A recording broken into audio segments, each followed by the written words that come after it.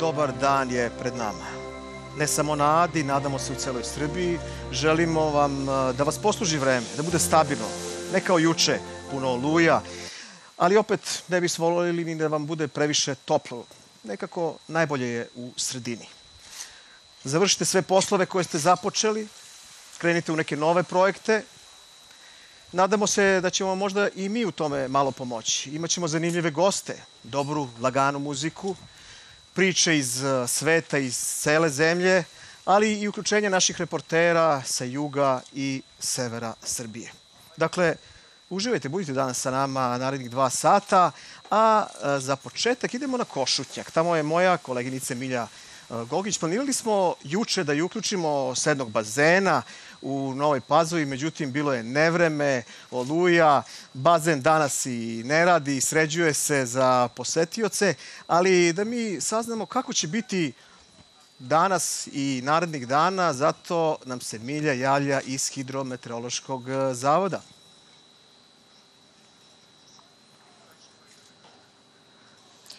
Tako je, Peđa, super ćelijska oluja e, je preko Slovenije i Hrvatske pristigla juče i negde oko 19 časova je pogodila čitavu e, Srbiju. Olujni vetar je nosio krovove, čupao drveće, a polomljena stabla i grane su padale na automobile. Na Novom Beogradu srušena su dva građevinska krana, ali na sreću niko nije povređen.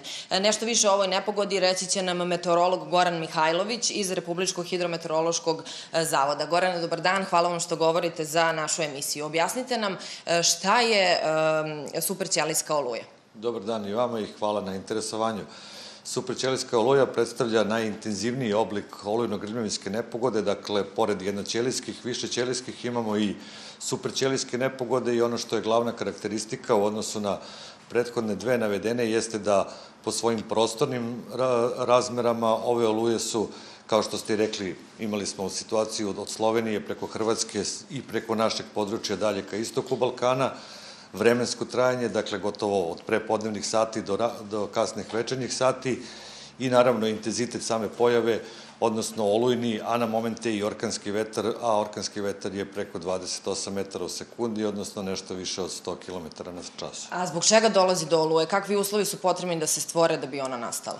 Pa potrebno je više uslova da se prosto, e, da kažemo, pogodi, odnosno da se e, pre svega velika razlika u temperaturi. Imali smo izuzetno visoke temperature, dakle i hladan vazduh, ta razlika u temperaturi, zatim e, raspodela vetra, odnosno različita, različiti pravci vetra po visini, ono što zovemo smicanje vetra, koje onda uslovljava to vrtložno strujanje, vlaga, takođe velika energija koja je rezultat dakle, razlike u temperaturi i ovog smicanja vetra koje onda podstiče dalje mešanje i održava prosto da se, da se jedna takva nepogoda, da kažemo, održava satima, intenzivira i naravno u, na momente bude i manje intenzivna, kao što smo videli za nijansu je ipak bilo manje intenzivno nego u susednoj Hrvatskoj. 2014. godine Lazarevac je pogodila oluja koja je oštetila preko hiljadu kuća. Da li je reč o istoj oluji?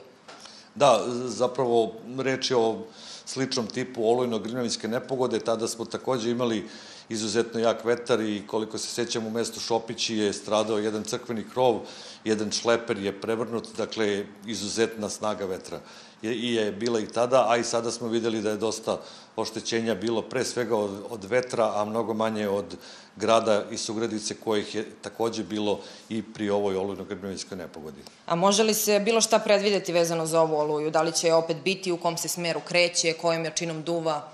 Pa, pre svega moramo konstatovati da je ova gotovo savršeno prognozirana. Dakle, od ranih jutarnjih sati na svim vestima je stajalo upozorenje Hidrometeorološkog zavoda da se očekuje u večernjim satima, kao što se i dogodilo. Dakle, može se prognozirati i ono što je specifično jeste da se sama tačna lokacija, odnosno samo vreme kada će koje mesto biti zahvaćeno, je moguće dati nekih sat do dva unapred, kao što je Hidrometeorološki zavod i upozoravao, a kada govorimo o narednom periodu, na snazi jeste i dalje jedno upozorenje koje se odnosi pre svega na severne, delom centralne krajeve, dakle sve do subote i dalje ima uslova za olujno-grljovinske nepogode koje podrazumevaju i intenzivne padavine u kratkom vremenu, pojavu grada, kao i olujnog, a na momente i orkanskog vetra.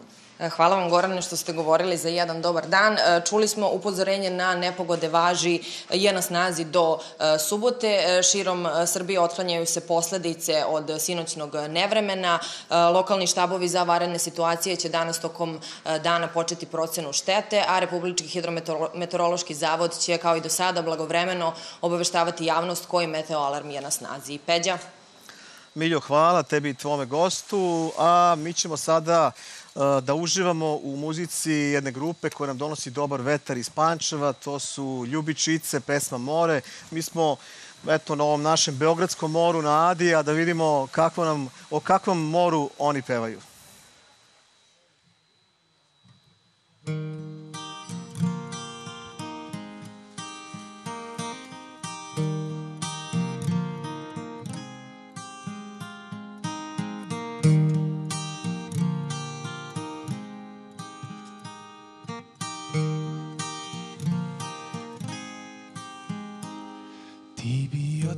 Otišla na more svakog leta sve sam gore šta da radim ako motor prokuva?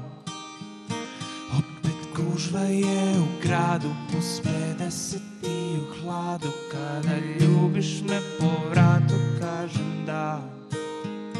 Prvi stižemo na plažu ti se skidaš čuvam stražu moj te pogled prati po krivinama sad samo tebi razmišljam. Nadam se da sa mnom sada deliš osjećaj. Neki novi pokušaj Dok prija na mrak Ne mislim na povrat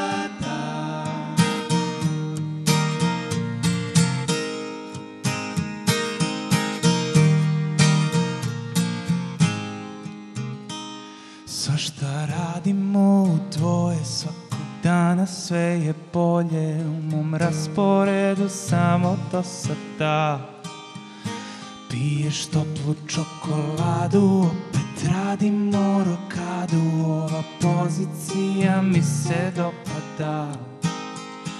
Slušam crčke u daljini, putamo po površini U tišini totalno se prepuštam. Sad samo tebi razmišljam. Nadam se da sa mnom sada deliš osjećaj. Neki novi pokušaj Dok prija na mrak ne mislim na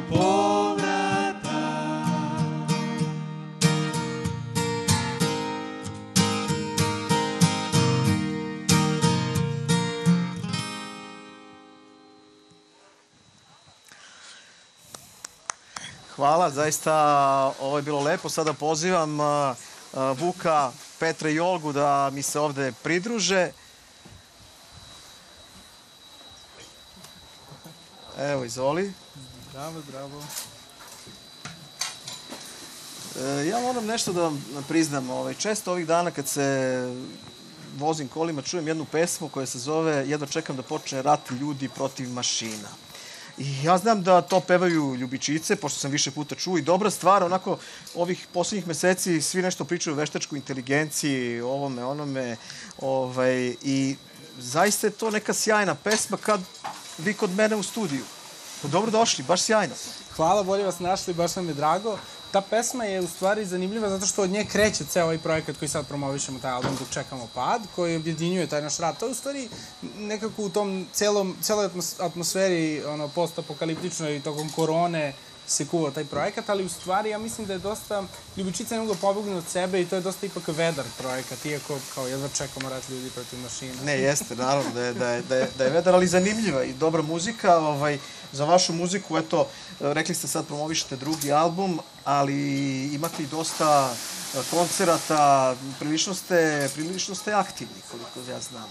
Da, e, evo već sad u subotu, na primjer, mogu da pozovem ljude, ako, ako je neko u Kikindi, besplatan ulaz je na, na festivalu Art Viva i bit će super, mislim, u subotu uveče smo pa onda mislim da će biti pojačana, da kažem, ta koncertna aktivnost od jeseni. Planirali smo da uradimo, pošto album zaslužuje definitivno e, promociju uživo, jer e, mi smo u stvari band koji se, mi sebe doživljavamo kao live band, mislim, kao, kao band koji voli da komunicira sa publikom, da, da bude na licu mesta, tako da će biti sigurno puno stvari još vezano za tu, za tu aktivnost. A što se studija tiče, album je objavljen na CD-u, bit će čak i na vinilu u vremenu, mislim to se malo čeka uvek, ali trenutno je dostupan na svim platformama za slušanje muzike, tako da eto, ja pozivam ljude da, da čuju. Mislim da je okej, okay, stvarno. Uh, braća Vuk i Petar Stevanović su uh, praktično okosnica ovog benda. Imate tu i razne muzičare koje su prolazili ili da. prolazi i dalje. Olga Petrović je sa vama. Olga, kako je u uh, njihovom društvu? E, divno. Lepo je u društvu, ne znam. Ovaj, e, dobro smo se uklopili, prosto mi sviramo zajedno E, pre svega smo svirali zajedno klasičnu muziku, dakle Petar je e, trubač i on je trenutno na doktoratu i ja sam pre svega njega pratila na trubi i Vuka na kontrabasu, pošto je on kontrabasista. Jeste, Tako da tako je krenula naša priča i onda su me uključili u, u taj elektro svet. Shvatili smo da već svira sa nama pojedinačno i onda kao, zašto ne bismo svirali svi zajedno i baš je pun pogodak je ispod. Naravno, Pančevo ima dosta dobru scenu i vi ste jedan izdanak e, iz te scene dosta, tamo ima i nekoliko klubova gde su e, stalno svirke i prosto kako sarađujete sa kolegama iz Pančeva? Jako dobro. Ja mislim da je Pančevo već dugo u stvari vrlo živ uh, muzički ambijent, da je to baš nedavno sam pričao s jednim prijateljem iz Pančeva koji se bavi tom istorijom uopšte rock and roll kulture i tako dalje, to je Vlada Nedeljković i onda mi je on pričao kako je to sve uh, zapravo dosta odavno počelo, ali mislim da je poslednjih godina pa eto da kažemo vezano za razno razne događanja, mi smo pokrenuli taj studio Krokodil u Pančevu koji snima mnogo bendova, različite žanrove i od klasike do kao ro, vrlo tvrdih nekih žanrova. Izdavači su u Pančevu studiji i naravno ima, stvarno ima puno muzičara, muzička škola je stara isto. Tako da mislim da ta blizina Beograda, a opet nekaka, da kažemo, a, atmosfera koja je malo drugačija, malo je specifična, mislim da je to jako plodno za muziku. I sad ne znam da li možda ima i, i vazduh. jeste li vašu prvu pesmu, imam novi band snimili u tom studiju? Da, jeste. E, zanimljivo je, e, Petar, čuo sam da je ta pesma nastala kada uh, taj klub još nije imao čak vrata ulazna, da je bio u izgradnji. Kako je to? Da, to je, to je nastalo tako što smo mi ušli na prvu probu, faktički. Doneli smo, ono, mi smo bili u Bigzu dugo vremena i onda smo se iselili odatle, jer kao, ostali smo da će to da dođe do kraja i nismo još uspeli da se uselimo u Pančevo, faktički. Nije imalo, ono, samo je košuljica bila dole, nije bilo, nije, nije bilo parketa, nije bilo ulaznih vrata, mi smo uneli ono bubanj i dva pojačala i krenuli da sviramo i u prvih 15 minuta je ta pesma samo se desila, zato što imam novi imam novi band, jer prosto imam novi band. I ovaj, takav je bar osjećaj bio, koji je band bio relativno star za nas. Ovaj, nije bio novo u svakom slučaju u tom sastavu, ali je osjećaj bio kao da smo potpuno nešto novo otvorili. I eto, ispostavlja se da je bio tačan. Isto te dobre energije, prvi hit i posle toga prvi album, pa drugi koji naravno promovišete, ali Vuče, rekli ste, uh, sarađujete dosta i sa drugim bendovima, učestvovali ste u još nekim izdanjima da. zajedno sa drugim da. kolegama. Pa, evo za početak da kažemo, najveće trenutno zvezde iz Pančeva, Butch Cassidy, su kod nas snimali, zajedno smo radili na njihovom materijalu, dosadašnjem, uh, onda recimo album sa jesenjim orkestrom je, ja mislim, super bitan bio i ta pesma Godina u vetru je bila baš kao, i, i ja i dalje mislim da je to velika pesma i da je super. I, uh, i naravno još bezbroj projekata. Mislim, sad kad bih krenuo sve da ih navodim, u poslednjih deseta godina ima puno muzike. Ja sam posebno ponosan na to što smo pokrenuli sad uh, jednu liniju klasičnih izdanja i hoćemo da objavljamo da snimamo klasičnu muziku i mislim da ta muzika zaslužuje mnogo više pažnje i evo Olga ima svoj solo album na kojem svira uh, ragtime, muziku od Scotta Joplina, to je isto u, u studiju Krokodil napravljeno, tako da mislim da smo dorasli tim zadacima i da će u narodnom periodu biti baš puno dobre muzike i lepih projekata. Sad smo u prime time, što kaže. Pravo vreme, hvala i vama što ste danas podelili uh, tu muziku vašu. Imaćemo priliku nešto kasnije da vidimo još jedan vaš spot. Mi sada idemo slikom na Kopaonik. Tamo je moja koleginica Ljiljana Raičević. Kopaonik je najpoznatiji skijaški i najveći skijaški centar u našoj zemlji, međutim i leti je jako popularan za turiste. E, šta nam nude na Kopaoniku ovog leta, reći će nam e, moja koleginica Ljiljana sa svojim sagovornicima. Pozdrav sa Kopaonika. Ovde danas zaista jedan sunčan, dobar dan. Tragova je nevremena nismo videli. Izgleda da je zaobišlo planinu sunca. Inače, na Kopaoniku trenutno 20 stepeni. To je i prosečna temperatura leti, dok je u gradovima veoma sparno. Sezona je počela, gostiju ima, ali naravno uvek se veći broj očekuje početkom avgusta. Međutim, kao što si rekao, Peđa, Kopaonik nije samo ski centar. Kopaonik je i nacionalni park koji duboko u šumama i na vrhovima krije prave bisere prirode. Ovoga dana sa nama ispred nacionalnog parka gospodin Dugalić. Gospodine Dugaliću, šta sve to nacionalni park može leti da pokaže gostima? Tako je. Nacionalni park Kopaonik je i ove godine, kao i svih prethodnih, za sve svoje posetioce pripremio uživanje u uređenim pešačkim stazama i vidikovcima na ukupnoj dužini od nekih 60 km, kroz koje želimo da promovišemo sve one prirodne vrednosti zbog kojih je Kopaonik proglašen nacionalnom parkom. Ono na što smo posebno uh, ponosni to su 13 strogih rezervata prirode pod prvim stepenom zaštite. Recite mi što se tiče Kopaonika, on je poznat i po borovnicama koje su ovde zaštićene, na koliko se prostiruju da li su već stigle za berbu možda? Kao i svude i ove godine na Kopaoniku vegetacijska sezona malo kasni, ali smo sigurni da će borovnica na nekih 700 hektara Kopaonika biti dozrela za predstojeće nam dane borovnice. Hvala vam najlepše. Kao što rekao smo, Borovnici u čast da kažemo da se organizuje na Koponiku tradicionalno i manifestacija Dani Borovnice, ali pre toga još nekih kulturnih i zabavnih dešavanja na Koponiku. Gospodine Koturanoviću, turistička organizacija Raška ovde sa hotelijerima, ugostiteljima organizuje taj program. Šta će sve moći da se ovde vidi, čuje? Pre svega Kopaonik je najbolje mesto gde možete ove vrele dane da provedete u prijatnoj klimi i aktivnom e, odmoru.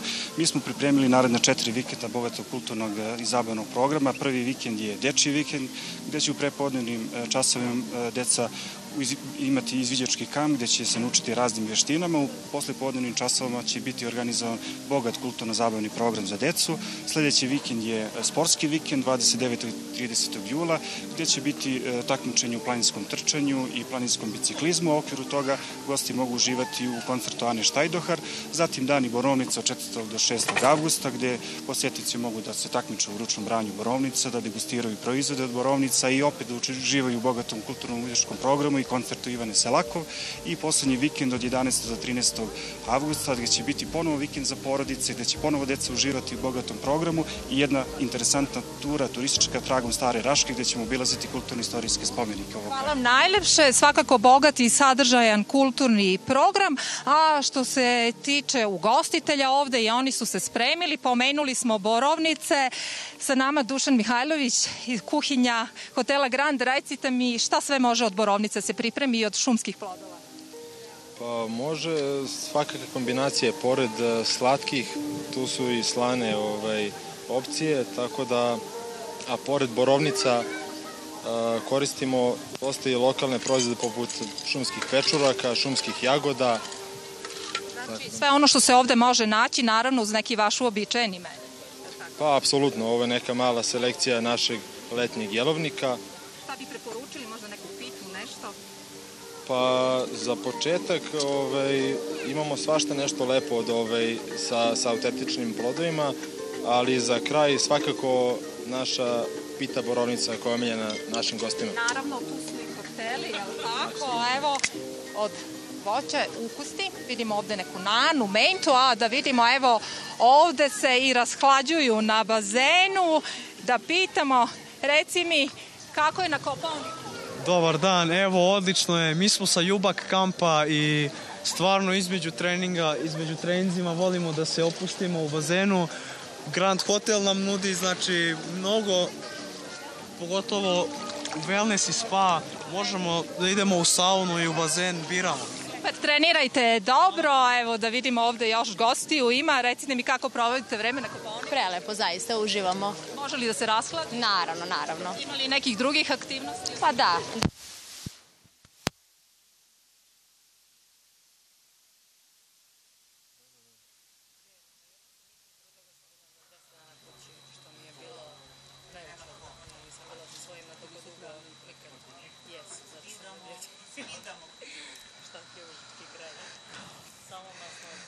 hvala Ljilji, možda ćemo se još posle čuti, neki je možda i bio mali problem. Uglavnom, uh, mi smo na Adi osetili malo uh, svežine danas, nije baš kao na Kopaoniku, tamo je uvek za neki stepen, za neki stepen niže, ali i nama je ovde sasvim lepo, a posebno sada kad imam ove dve divne gošće, Leontina Vukomanović i Slađana Mirković.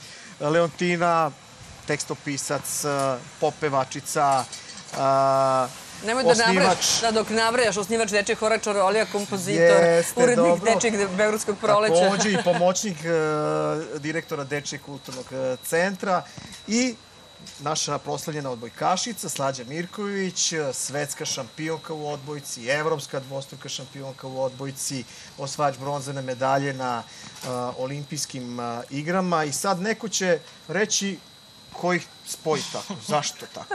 Postoji razlog? Sigurno ja ne da igram odbojku. Postoji jedan razlog, ja znam, e, pošto sam često putovao sa odbojkašicama ovaj, i posle nekih utakmica, kada su velika slavlja, obično je prva bila ta koja peva Slađa Mirković. I kreće sve od nje, onda i ostale devojke je prate. Ja to dobro znam, to mnogi gledalci ne znaju, ali kako to zna Leontina? Pa interesantna je priča uh, redovno kada naše proslavle, proslavljene odbojkašice i sportisti uopšte pevaju, hi, uh, to jest uh, izlaze na balkon Skupštine grada Beograda. Uh, obično himnu peva neko od dece iz Hora Čarolija. I desilo se da smo tada u stvari na proteklo, to je bilo svetski nakon svetskog, svetskog prvenstva, da, dolaze zlatne odbojkašice, malo više mojih mališana izlazi da peva himnu i u druženju sa odbojkašicama dole u foje Skupštine grada e, pevaju zajedno, deca i odbojkašice. I ja posebno se ističe ovde prisutna slađa. Ja u tom trenutku ne znam ništa o njoj, da ona, ta, da ona peva, da ona uopšte ovaj, grabe mikrofon, kao što si sam rekao. Ali moje dete kreće sa njom u neku komunikaciju. Da me ona, nauči. Da, kaže, Slađa, ali možeš ti mene da naučiš da, peva, da pevaš? I onda sad uh, moja čerka nju testira ja upalim kameru i sad gledam Slađa odgovara na sve zadatke, kao da je išla na solfeđo godinama.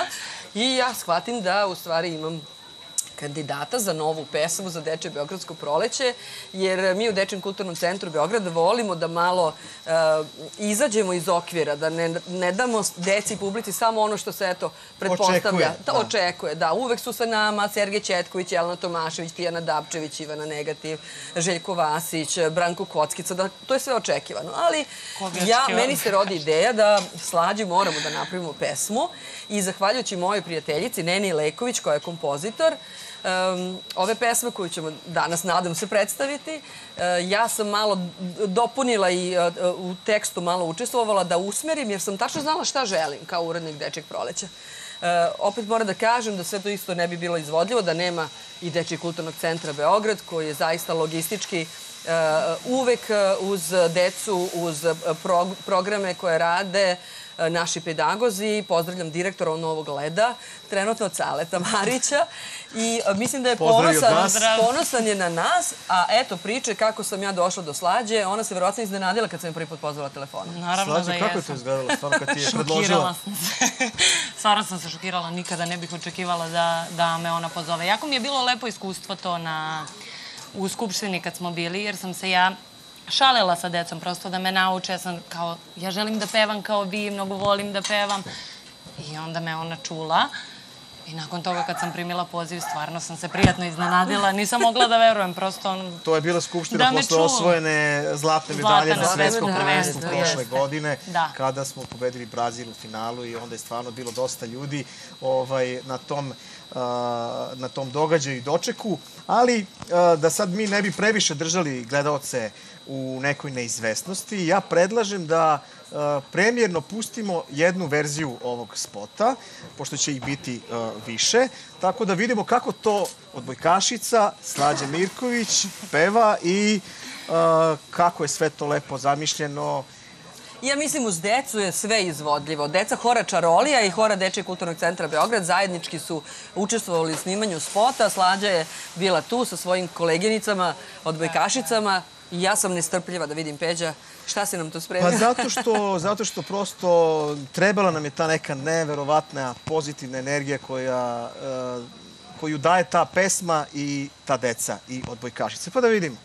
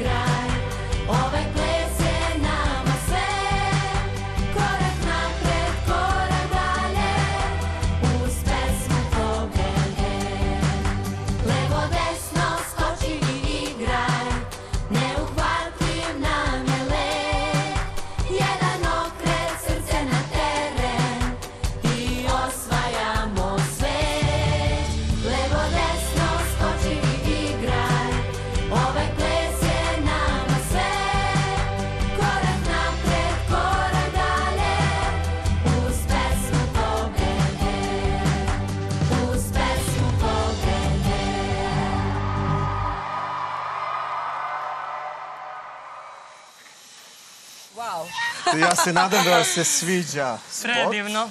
Da, baš sam se raznežila. Evo, sada je ovo bila premijera. Prvi put ste i Leontina i Slađa videli kako to izgleda. A tu su bile još i odbojkašice, najbolja odbojkašica sveta, Tijana Bošković i još e, e, Milena Rašić je došla sa svojom bebom. Stvarno je bila jedna fantastična energija. One su naučile odmah reči, Koreografiju. koreografiju.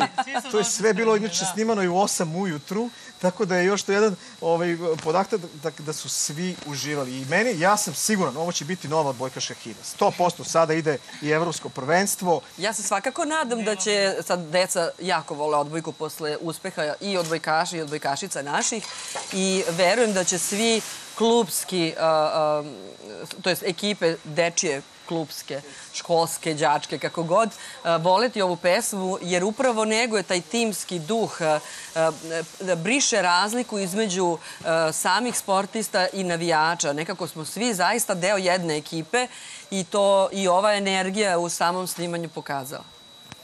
Slađo, pre svega hvala ti na jednoj divnoj pesmi. Fantastična si bila, a opet moram da te pitam malo i što se odbojke tiče. Uh, Sledi to evropsko prvenstvo. Uh, Trenutno nisi na pripremama reprezentacije, ali svakako uh, ti se spremaš za svoju novu sezonu. Šta očekuješ, taj šampionat? Će se održati, e, naša grupa će biti ovaj, u Belgiji i svakako da imamo velike ambicije. Branimo srebrnu medalju iz Beograda, tako? Tako je. Naravno, naše ambicije su uvek e, najviše moguće i naravno da uvek idemo na najsjajniju medalju, tako da e, smatram da se devojke jako dobro spremaju i da veruju u sebe i da će uz ovaj sportski ples da idu, da idu u, Belgiju, kao što ste rekli, sa najjačom mogućom motivacijom e, i spremne da nam donesu još jednu medalju. Tako je. Šta kažu tvoje koleginice, odbojkašice? E, jako, su, jako su oduševljene. Svima se jako svidela pesma. Ja sam naravno pre snimanja spota svima pustila pesmu. Svi su morali da nauče koreografiju. Nažalost, nismo svi mogli da prisustvujemo zbog e, Priprema, priprema, raznoraznih obaveza, ali mnogo sam zahvalna što je bar deo ekipe mogao da bude tu i hvala im ovom prilikom što, što su bili uz mene e, tokom snimanja, tokom snimanja ovog spota, tako da sve smo uspešno odradili, jako smo uživali i sa decom i mi među sobom, svi smo se zajedno igrali. Tako da nadam se da će svima da se svidi pesma. Ja bi još jednu zahvalnost uputila Odbojkaškom savezu Srbije koji je podržao ideju i da Slađa kao odbojkašica e, nastupi kao pevač na Dečijem proleću, a zapravo i dali su nam i podršku i e, u organizaciji na samom festivalu Dečije Beogradsko proleće kad su doveli i Slađu i njene koleginice da učestvuju i na RTS-u je bila premijera, bilo je to stvarno ovaj, festival koji čini mi se da je kada su deca u pitanju, pomerio malo granice dečih ovaj, e, događaja i festivala. Tako da jedan veliki pozdrav iz Odbojkaške Save Srbije i svi navijamo, naravno, za naše Valentina, sportiste. hvala tebi na divnim uh, pesmama isto koje pišeš i mnoge hitove si napravila i sama otpevala, ali i za drugi izvođa, izvođače spremila. Da li nešto planiraš opet još novo za jesen? Ili otkrivaš tajne ili je to... pa da, kao autor, e, da, e, izaći će još e, bar dve numere tokom ove godine, dakle od jeseni do nove godine svakako. Neću otkriti tajne ko je u pitanju. E, jer, znaš kako se kaže, kada si muzičar ili kada si autor, sve dok se ne desi, nemoj da pričaš da nešto ne izbaksuziraš. Da. To je negde ovaj, i moja parola. Međutim, e, ne zaustavljam se kada, je u pitanju, kada su u pitanju nastupi. Evo, noća sam došla sa nastupa zajedno sa Tijanom Dapčević, pevali smo na e, za decu na Brestovačkom kulturnom letu. Bilo je haos dok smo se vratili ovaj, po nevremenu. Oluja je bila jeziva, ali Horčarolija takođe e, ima puno nastupa do kraja ovog raspusta, iako smo na raspustu mi e, radimo intenzivno. Dan grada e, Dan opštine Mladenovac 2. avgusta. Gledajte nas Mladenovčani, zapravo Tijanu Davčević sa Horom Čarolija. A ja sam imala jedan interesantan nastup, da kažem i u stvari druženje sa decom iz srpskih dopunskih škola u Nemačkoj, u pokrajini Baden-Württemberg, gde e, su deca učestvovala na vidovdanskim sportskim igrama i RTS Crossu. E, to je bio e, spektakl. Hiljadu dece, roditelja, zajednički u muziciranju, u pevanju, u druženju, u sportskim igrama i nekako sam sad definitivno shvatila da je spoj sporta i muzike jedna fantastična stvar i da se treba što više takvih stvari dešavati. Pozdravljam i sve male drugare u Nemačkoj. E, e, Želim da se družimo još više. I našeg Baticu Kovačevića koji je zadužen za taj cross radio Beograda, koji eto ima jednu lepu tradiciju, dugu, privlači puno e, naših mališana, ne samo u Srbiji, nego i U dijaspori, širom, ovaj, Evrope i sveta. Tako da radimo, ni jednog časa nestajemo, pratite naš rad. Sjajno, sjajno. Hvala vam puno. Mi ćemo sada otići nekih 300 km južno od ovog našeg studija. Idemo u Novi Pazar, grad dobrih i vrednih ljudi, bogat istorijskim i kulturnim spomenicima, veoma privlačen za turiste, pa moj kolegu Dušana Jemuovića pitamo šta se radi ovih letnjih dana u Novom Pazaru.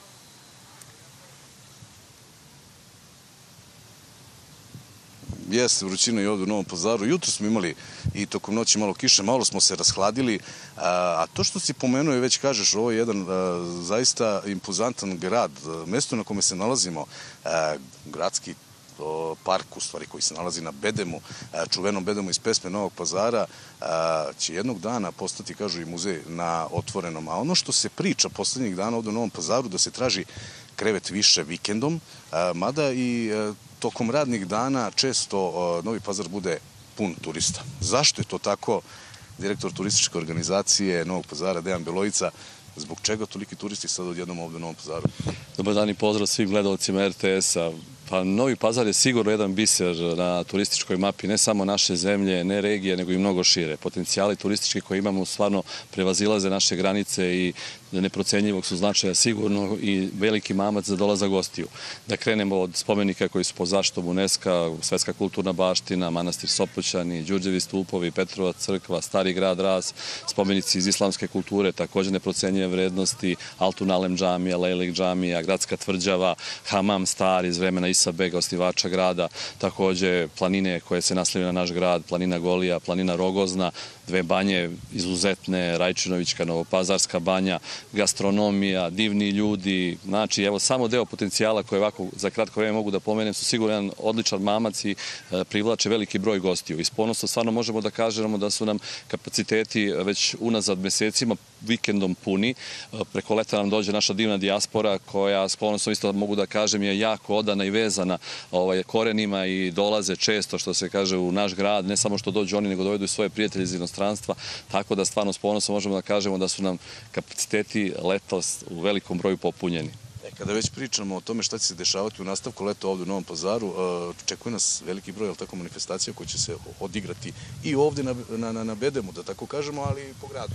Tako je, znači grad Novi Pazar i ustanove grada Novog Pazara, turistička organizacija, kulturni centar, biblioteka, svake godine tradicionalno prave čitav niz manifestacija. Mi smo već otpočeli naše leto, počeli smo s jednom divom manifestacijom, izbor misiji Mister dece sa Downovim sindromom, onda smo posle toga imali ovaj jedan međunarodni internacionalni izviđački kamp koji je fantastično prošao, imali smo izviđače iz skoro pet zemalja, iz okruženja, Uh, čeka nas Zeman Fest i festival Stari grad, u jesen nas čekaju Dani Vojvodine u Novom pazaru, Uh, takođe imamo i dane dijaspore, to je čitav niz manifestacija koje će se dešavati, tako da kažem grad živi svojim ovako jednim lepim životom i mi se trudimo svi zajedno da što više i što lepše ovaj, napravimo, što veći broj manifestacija koji će sigurno doprineti da nam još veći broj gostiju dođu u Novi pazar.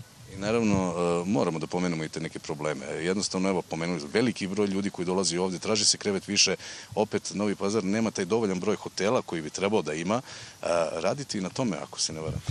Mi to ne zovemo probleme, problemi, nego zovemo šanse i izazovi. Ove, naravno, dosta hotela u pazaru postoji, znači i takođe se rade dva ozbiljna, već sad su izgradnji dva još ozbiljna ove, hotela u Novom pazaru.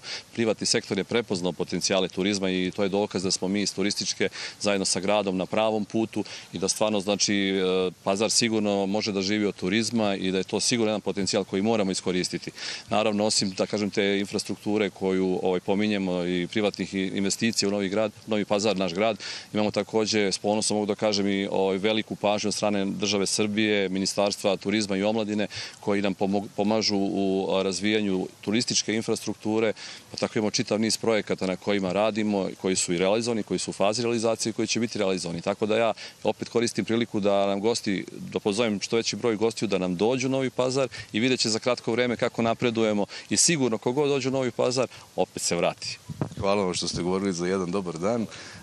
Meni ostaje da kažem da ipak ovo mesto u stvari vuči istoriju, tako kažu, od neolita pa do Osmanija Nemanjića, do modernog doba ovde.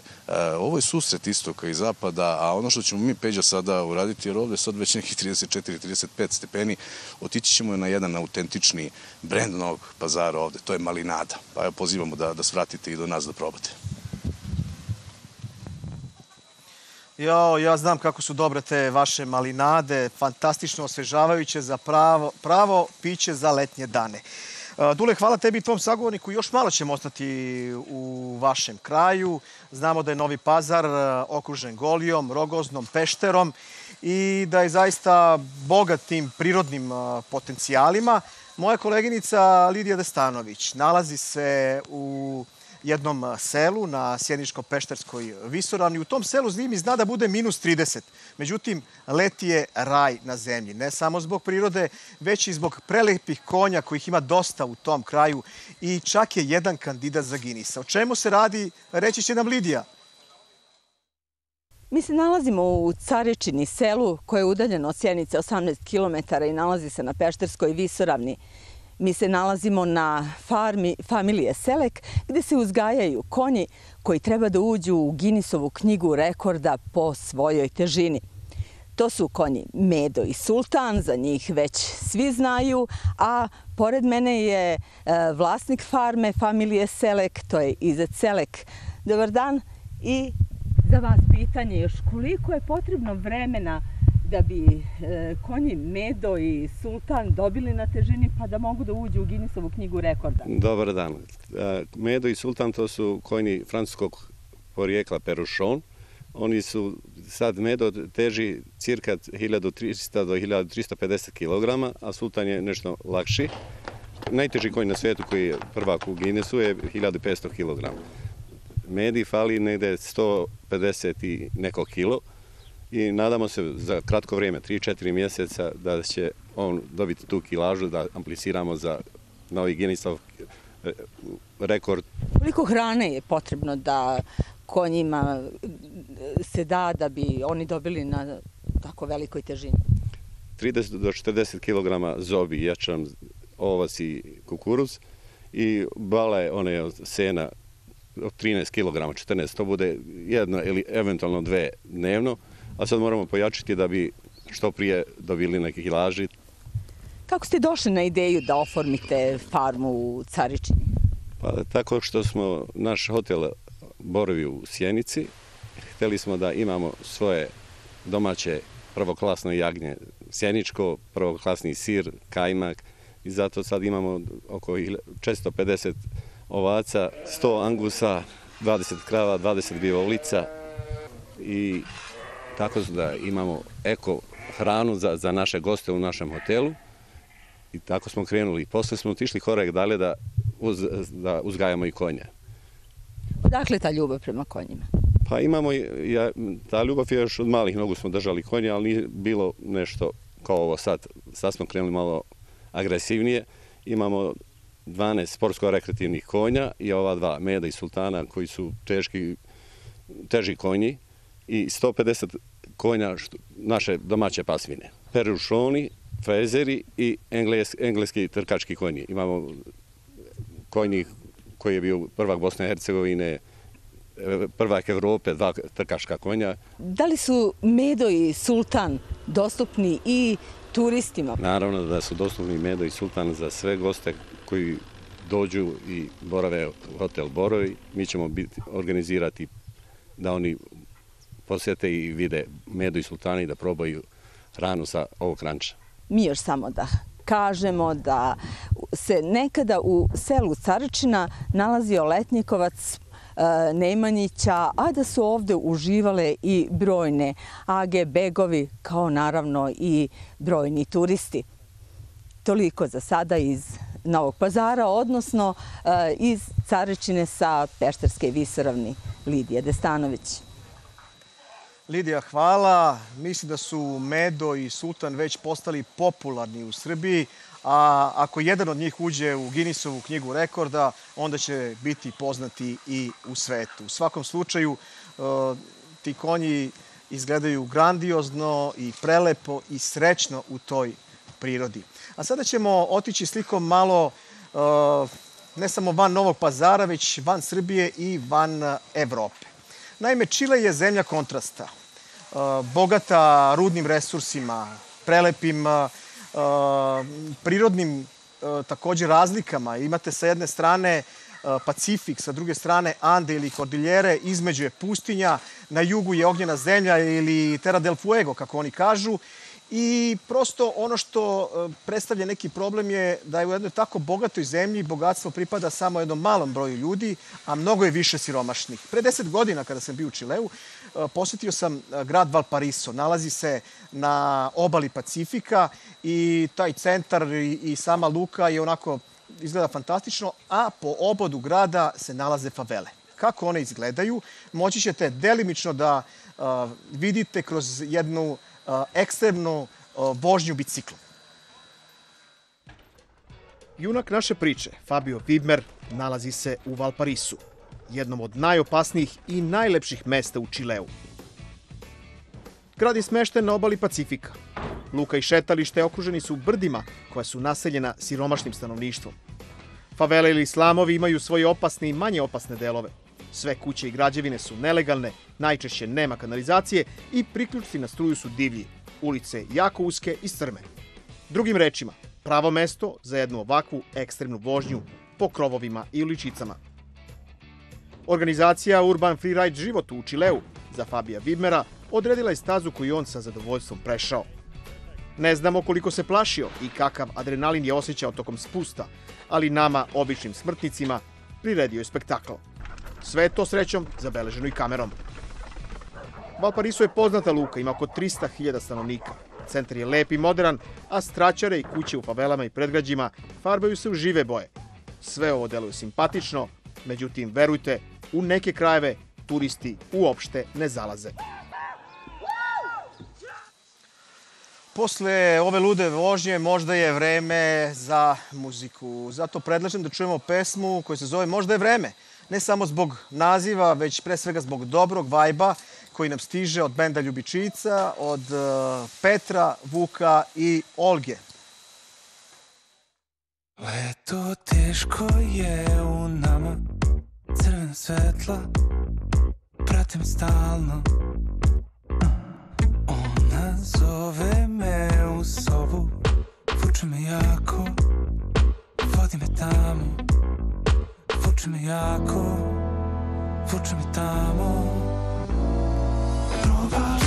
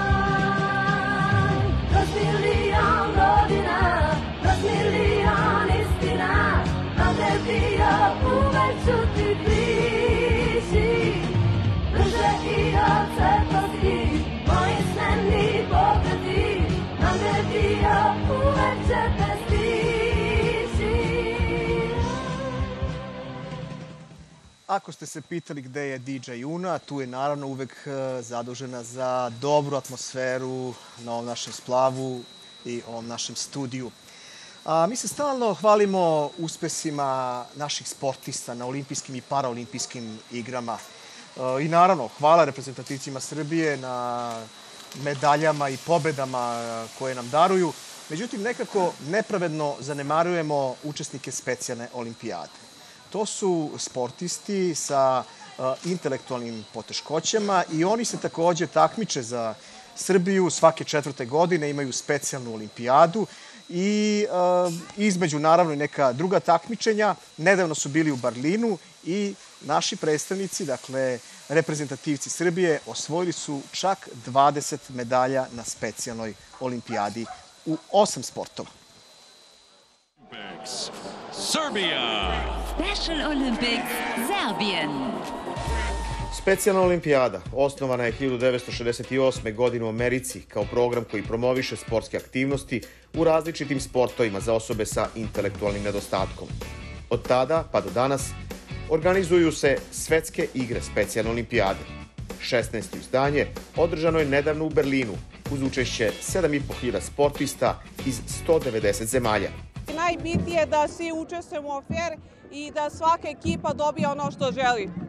Osjećaj je neverovatan, neverovatno. E, posebno nešto, nešto ne znam, ovaj, e, osjećaj jednom, neverovatan. Jako sam ponosna na sebe, tako da velika je čast doći da predstavljaš Srbiju na svetskim letnjim e, igrama u Berlinu. Srbija je šesti put za redom učestvovala na igrama specijalne olimpijade. U Berlinu naš tim imao je 80 članova, koji su osvojili rekordnih 20 medalja u atletici, plivanju, stonom tenisu, boćanju, muškoj i ženskoj odbojci, ženskom futbalu i košarci i bič voleju. Naravno, treba da se takmičimo i da damo sve od sebe i da pobedimo. A, osjećam se fenomenalno. Pa jako sam ponosan na svog trenera koji me pozvao uh, da budem u reprezentaciji specijalne olimpijade Srbije. Uh, zadovoljan sam time i kao uvek trudim se da pokažem sve što. Za Srbiju koju predstavljam osjećam se veoma ponosno i nastavit ću tako dalje da predstavljam Srbiju na naj, najboljem e, mogućem nivou. Pored disciplina u kojima se osobe sa intelektualnim nedostatkom međusobno takmiče, postoje i unified sportovi, gde su u istom timu zajedno osobe sa i bez posebnih potreba. Reč je o inkluzivnom futbalu, košarci, odbojci i drugim ekipnim sportovima. Najbitnije je da se ta deca takmiče, da se socijalizuju, da ovaj, upoznaju nove drugove iz različitih krajeva sveta. Da li si upoznam neke prijatelje nove s kojim ja se sam družiš? iz Bosne, iz, iz Kovačke, iz... Sa njima se družiš i van aktivnosti na bazenu. To je nešto najlepše što možete da učinite za i za njih i za nas. Meni je to mno, i najviše volim da sam sa, sa, sa takvom decom. Sledeći domaćin specijalne olimpijade za četiri godine biće australijski grad Perth. Igraj i pobedi, ponosno se vrati, donesi kući zlato što se zlati. Srbija čeka da dođeš iza leka, da naša zemlja bude opet prvak sveta.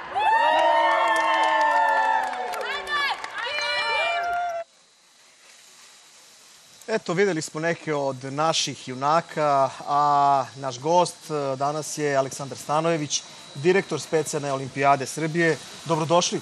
Hvala na pozivu. E, prosto videli smo da su nedavno održane te e, igre specijalne olimpijade, letnje u Berlinu. i imali smo jednu finu delegaciju od 80 dece uz podršku ministarstva sporta. Otputovali su u Nemačku i zaista tamo na jedan lep način predstavili našu zemlju. Pa, mi se trudimo da svaki put to i uradimo, jel? Posebna je i čast i obaveza kad imate na majici da vam piše specijalna olimpijada Srbije. To Srbija nosi neku odgovornost i mi se trudimo, evo već 21 godinu, da predstavimo našu zemlju na što kvalitetniji način. U pitanju su osobe sa intelektualnim poteškoćama ili nedostacima i prosto moramo ih mnogo više uključiti u svakodnevni život i oni to prosto ne samo da zaslužuju, nego oni imaju i mnogo svojih talenata koje mogu da pokažu. Da. Pa mi se trudimo da, da ih socijalizujemo kroz sport, naravno. I ono što je nama jako važno, a i, i drago nam je da u našoj zemlji ljudi sve više prepoznaju značaj bavljenja sportom osoba sa posebnim potrebama. Pogotovo kad donesu medalje neke. Iz prostog razloga što ljudi shvate da i oni imaju isto tako mogućnosti i prava da se raduju i da pokažu da su redu, redovni, da su lojalni članovi ovog društva koji se trude da doprinesu imidžu naše zemlje, jel? I da pokažu svima da nešto mogu da urade.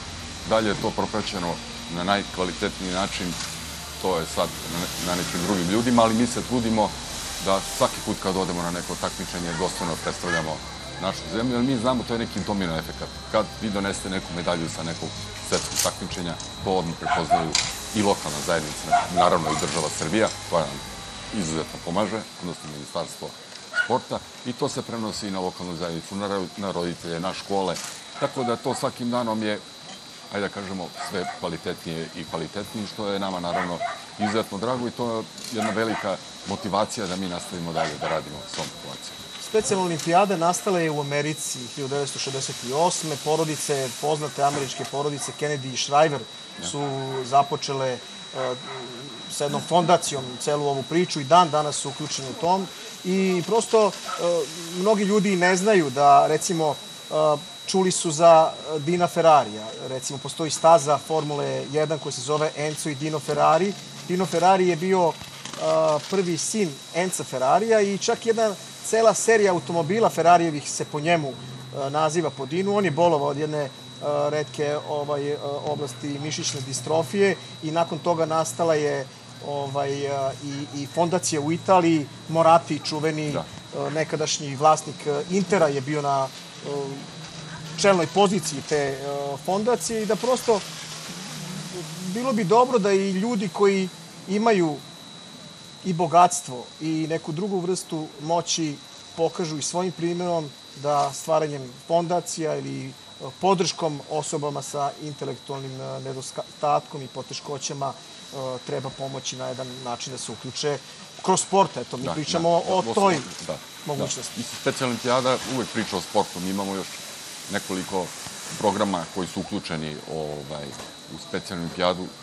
U pitanju je family program, onda imamo medicinski program koji je nama, odnosno zdravstveni koji je nama jako bitan i naša deca svaki šest meseci odlaze na, na preglede.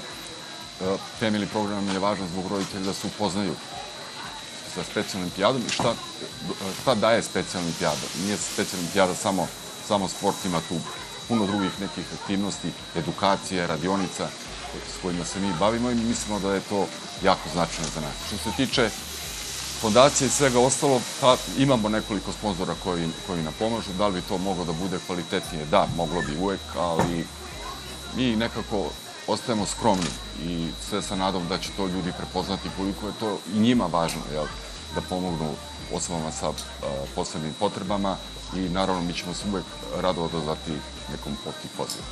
Pa u krajnjem slučaju i organizovali smo neka takmičenja, prvenstvo u Unified odbojci da. je održano u našoj zemlji i tu je ambasador uopšte specijalne olimpijade bio Vanja Vladimir Grbić, da, poznati sportista. Vlade Divac je bio na otvaranju jedne ovaj, specijalne olimpijade. Čini mi se u Atini, Jeste, tako je. E, šta vas sledeće očekuje?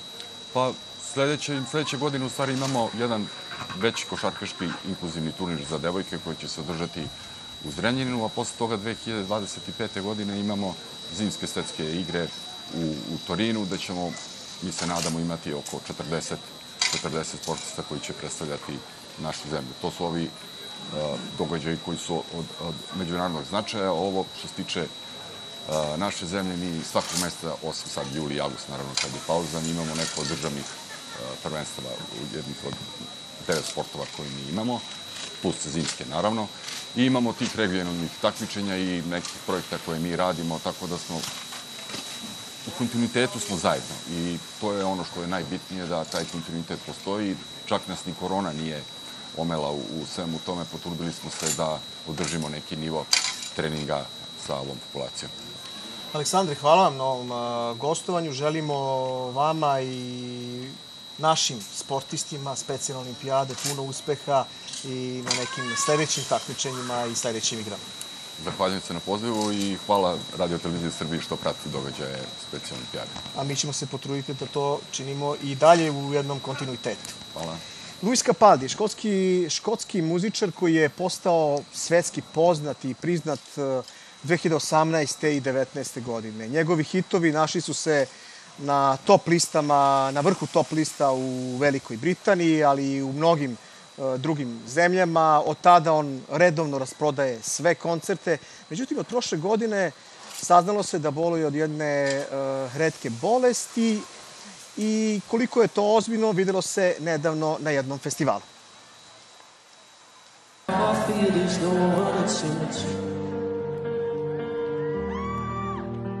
Očigledno iscrpljen i nemoćan da završi svoj nastup na Glastonberiju, Capaldi je na bini uglavnom ćutao.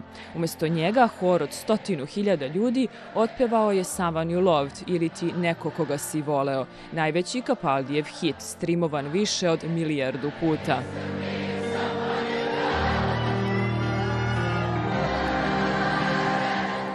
Nakon ovog potresnog iskustva, slavni pevač otkazao je sve koncerte i najavio povlačenje na neko vreme, kako bi se posvetio svom ozdravljenju. Teško je utvrditi koliko ljudi u svetu ima Turetov sindrom. Na osnovu podataka humanitarne organizacije Tourette's Action, samo u Velikoj Britaniji ima više od 300.000 dece i odraslih sa ovim zdravstvenim poremećajem. Capaldi nije jedini oboleli među slavnim ličnostima. Od Turetovog sindroma pati i kantautorka Billie Eilish, šestostruka osvajačica Gremija, jednog Oscara i jednog Zlatnog globusa.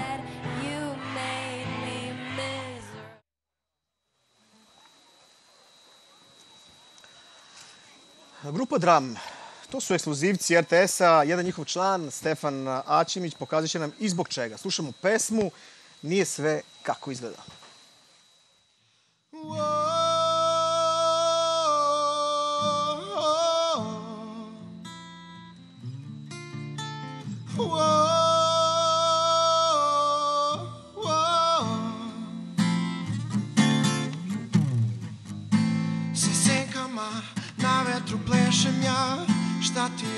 Želiš, nije mi bitno.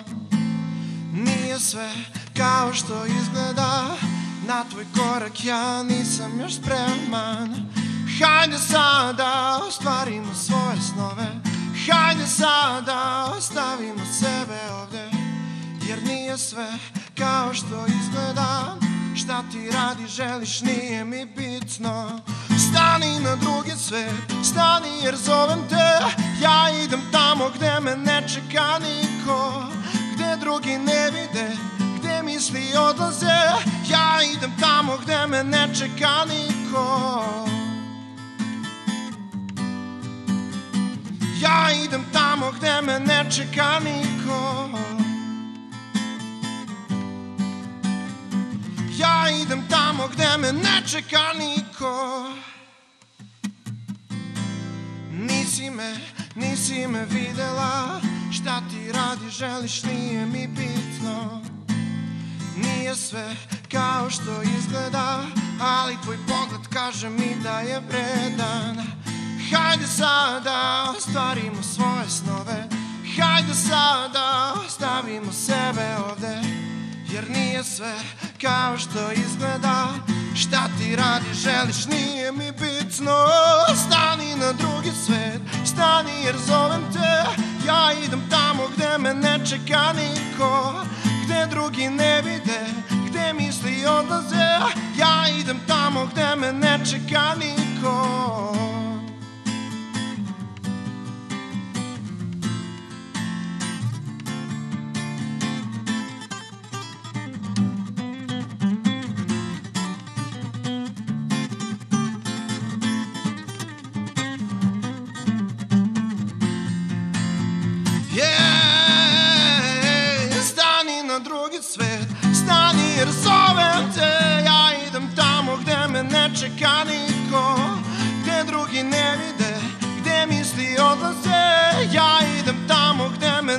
čeka niko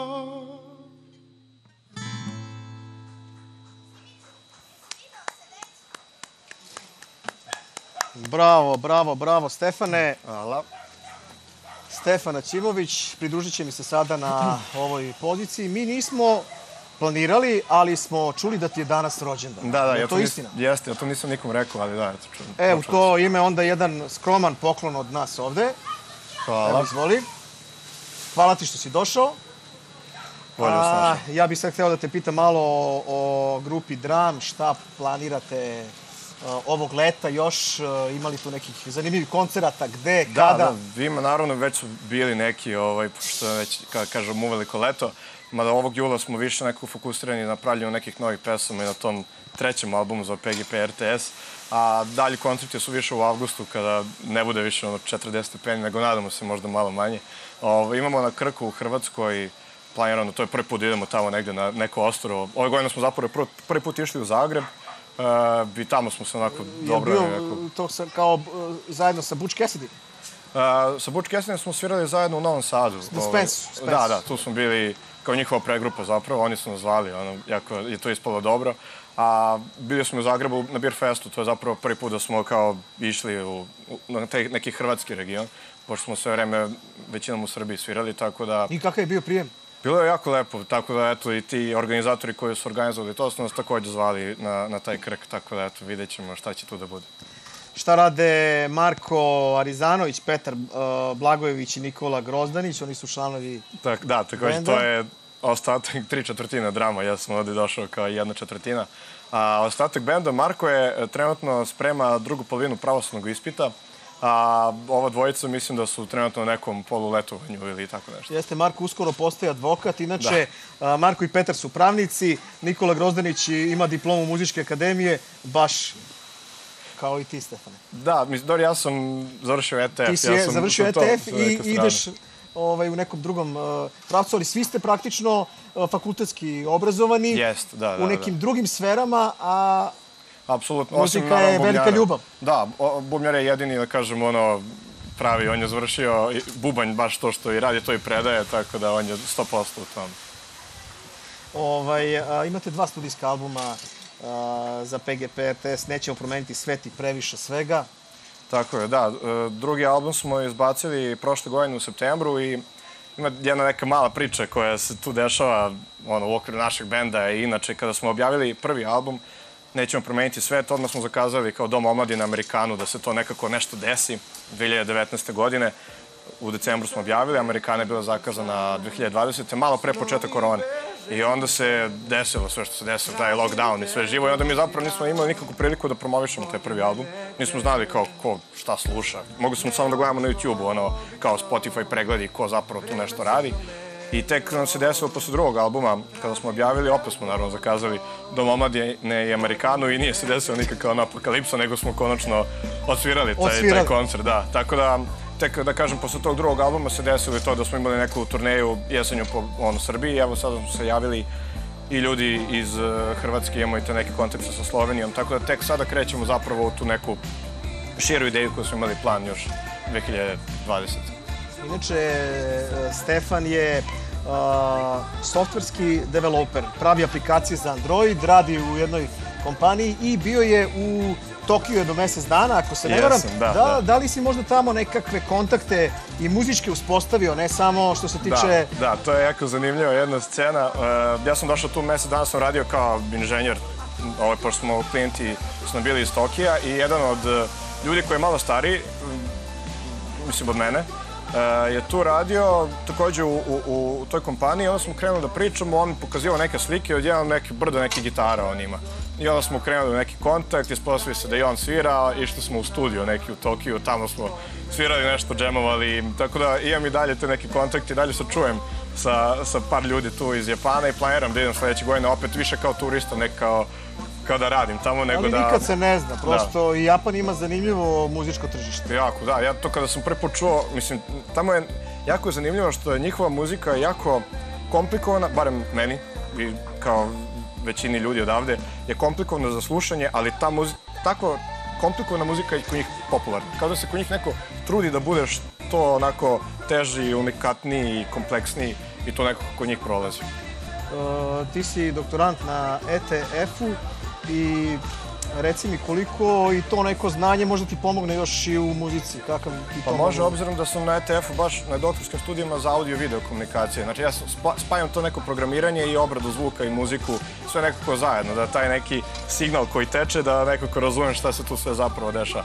Tako da, da, ima sa više sa neke produkcijske strane i u tom nekom smislu da razumem šta se zapravo dešava kad ono kažem na mikrofon bilo šta. Za pesmu Daj mi sve dobili ste nagradu zadužbine Milana Mladenovića i to je bilo u konkurenciji 200 pesama. Koliko vam to znači?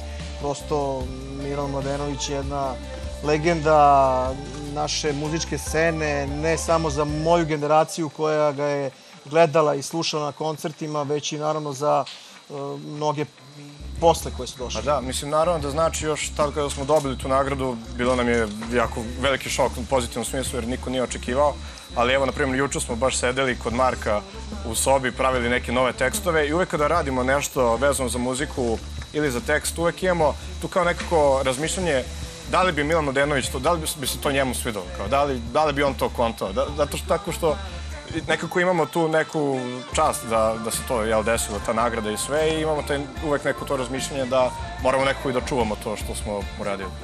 Zaista jako lepo od vas. Dram ćemo čuti još malo kasnije, a mi ćemo se sada preseliti na sever Srbije. Idemo do Sombora, tamo je moja koleginica Vanja Kahrimanović. I Sombor je jedan zaista predivan grad sa izuzetnim građevinama, arhitekturom, Franjevački samostan, zgrada Županije u kojoj je danas skupština opštine Sombora, zatim Galeova kuća u kojoj je galerije Milana Konjevića, zatim prelepe katedrale, crkva, izuzetni trgovi i ja prosto moram prvo da pitam Vanju da li vam je juče možda ono nevreme nanelo neke probleme u gradu i u centru ili u nekoj široj okolini?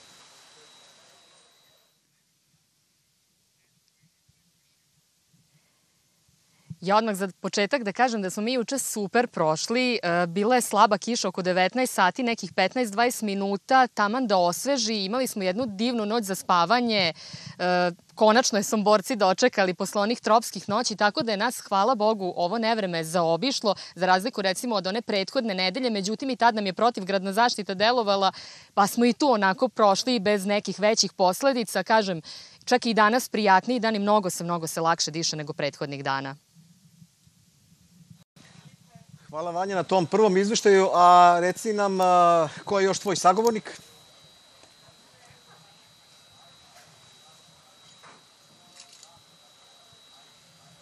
Evo, ja se nalazim u kampiralištu Crvenog krsta u Bačkom monoštoru kod, u okolini Sombora i sa mnom je sekretarka Crvenog krsta. Ovo je inače jedno odmaralište za decu i omladinu Crvenog krsta, a sekretarka će mi nešto više reći koji su sadržaji ovde sve dostupni i šta ovde deca i mladi mogu da rade. Dobar dan. Dobar dan Vanja, dobar dan kolegama u studiju, dobar dan svim gledalcima Radio Televizije Srbije. Pa evo, drago mi je da imam mogućnost da predstavimo i onaj lepši dio Crvenog krsta, lepši dio aktivnosti Crvenog krsta, rad sa mladima u ovako jednom predivnom kampiralištu koji se nalazi u rezervatu prirode u Gornjem Podunavlju, koji se nalazi između Velikog Bačkog kanala i kanala Dunav-Tisa-Dunav, gdje svi oni koji hoće da pobjegnu sa vrelog asfalta mogu da dođu. E, prvenstveno kamp je namjenjen e, radu sa mladima, radu sa djecom gdje organizujemo školu u prirodi u saradnji sa nastavnicima iz osnovnih škola, zatim za razne kampove mladih, za međunarodne grupe sa udruženjima građana gdje organizujemo različite radionice, da li je to e, kultura, muzika, sve ono što mlade naravno interesuje, a zatim i za sportiste i za naše slikare koji vrlo rado ovdje organizuju likovne kolonije, isto tako i za sportiste koji žele da dođu na pripreme i za sve one koji zaista žele da provedu jedan vikend u prirodi. E sad neka novina nam se priprema, šta je to i šta će biti za posetioce ovog kampa obezbeđeno? Jeste, evo Mi pripremamo. već uživamo, izvini što prekidam, mi već uživamo u deliću toga. Jeste, evo pripremamo se za sledeću godinu već. E, 2. i 3. septembra organizujemo jedan promo vikend za sve one koji su zainteresovani, koji hoće da, hoće da probaju nešto novo. E, znači kajakarenje do bezdana, vožnja biciklom kroz ovu predivnu našu šumu, šetnju kroz šumu, da upoznaju e, prosto prirodne ljepote Gornjeg Podunavlja u saradnji sa Vojvodina šumama, e, da probaju svi oni koji dolaze sa strane onaj tradicionalni poznati somborski paprikaš, a isto tako svi oni koji dođu moći će da obiđu e, e, sve ono što se nalazi u Bačkom monoštoru. Znamo da je Bački monoštor poznat po turizmu već godinama unazad. Evo ja moram da kažem da evo mi već uživamo i ne znam koliko kamera može da vidi ovde pregršt đakonija. Evo ja sam jedno dete asfalta iz, što ja kažem, kruga dvojke i ja sad prvi put pečem ovo neko meso. E, iskreno neću ga pred kamerom degustirati, pošto Evo, izgorela ova kobasica i ovaj hlebić, nisam baš vič na tome, ali taman dok malo budemo još ovde, možda ću degustirati pa vam javim, a vi kolege, eto, jedno dvestotinja kilometara, 215 da budemo precizniji od Beograda do Bačkog monoštora, pa kad završi jedan dobar dan Adi, a vi vama u Bački monoštor hrane ima sasvim dovoljno za sve. Vanja, hvala. Zaista vidjet ćemo, možda prihvatimo taj poziv. U svakom slučaju, uh, ja verujem da će i naši gledaoci uh, potruditi se da što više obilaze Srbiju. Za početak počnite od Sombora ili njegove okoline, jer uh, upravo to upoznavanje sa drugim ljudima je možda i neko naše najveće blago. Uh, Ja sam imao sreću kao novinar da zaista upoznam dosta zanimljivih osoba. Uh, jedan od tih uh, ljudi je i Siniša Labus. Pre 30 godina je bio talentovani džudista, onako kolos, u, u teškim kategorijama se takmičio, postao je studentski vice šampion sveta, a onda je odlučio da bude slikar i postao je dobar slikar. Bio je kadetski, juniorski, seniorski judo šampion države i reprezentativac. Sportsku karijeru zamenio je slikarstvom. Umetnost ga je vinula u visine, daleko veće od onih koje je dosegao kao talentovani džudista. Imao sam tu sreću da mi je veliki prijatelj bio gospodin Vuk Bojović, učitelj, idol, prijatelj i sve ostalo. On kao direktor Zološkog vrta je, što ljudi manje znaju, i akademski vajar. Ja sam uvek nešto rekreativno amaterski slikao, a pošto nam je Vuk bio i predsednik Judo Saveza, redovno sam odlazio kod njega, jer sam na svojim putešestvijama sportskim obavezno obilazio galerije i zoološke vrtove, pa sam volio da mu referišem šta se dešava u zoološkom vrtu u Mikinu, u Beču, išli smo čak i preko okeanski, pa je to njega zanimalo i mi smo tako počeli da se družimo, vrlo intenzivno. Nešto me inspirisalo, jedan dan da nasikam nekog, sećam se, neku seriju životinja. Ja sam to odneo kod mog velikog drugara, Vuka, da čujem šta on misli o tome. Da se ja s tim bavim rekreativno, ja sam ja već tada uveliko i studirao ekonomiju i bio praktično profesionalac u judovu. Na što je on rekao, mali, kaže, možeš da budeš dobar ekonomista, ali ovo baci, ovo nije za tebe. Kupim nove boje platna, naslikam drugu seriju slika, koje su već sad znatno bolje od prvih. Tu su bili neki portreti. Kad sam ja to njemu doneo, on kaže, vidi mali, pa nije loše, kaže, jer bi ti volao, kaže, da učiš kod Tapija. A Tapija u to vreme bio vrlo popularan, ovaj, bavio se hiperrealizmom i slike su mu dostizale za to vreme astronomske stvarno ovaj, cifre. Siniša Labus učio je kod Dragana Maleševića Tapija, obilazio muzeje, uživao u delima svetskih majstora, studirao ekonomiju i osvajao medalje kao džudista. jer se čovjek u slikarstvu kao i u judovu ovaj, e, nalazi pred raznim preprekama. Ne mogu svi problemi lako da se reše. Postoje problemi koji deluju i nerešivi, ali uz dovoljan rad i potrebna je tu i određena duhovna dimenzija, ovaj, sve može da se reši, sve može da se napravi. Slikarstvom je profesionalno počeo da se bavi 1998. Danas iza sebe ima 900 slika, od kojih je više od 850 našlo mesta u privatnim kolekcijama širom zemlje i sveta, u galerijama i muzejima. Od naših muzeja bi pomenuo istorijski muzej gde je moj portret Milunke Savić, Patrijaršijski muzej gde je čuveni portret Patrijarha Pavla, uh, muzej Ruske pravoslavne crkve u Moskvi, ovaj, gde je takođe portret Patrijarha Pavla, a za mnoge slike naravno i ne znam gde su koje se prodaju galerijski, ja ne znam gde one završe, ali koliko znam ima i gotovo na svim kontinentima. Izlagao je u Vašingtonu, Njujorku, Čikagu, Geteborgu, Oslu i mnogim gradovima u Srbiji. Neko ko kupi moju sliku, on nije kupio samo sliku, znači ulje na platnu ili ulje na dasci ili ne znam, akril na, na, na platnu. On je kupio najbolji deo mene.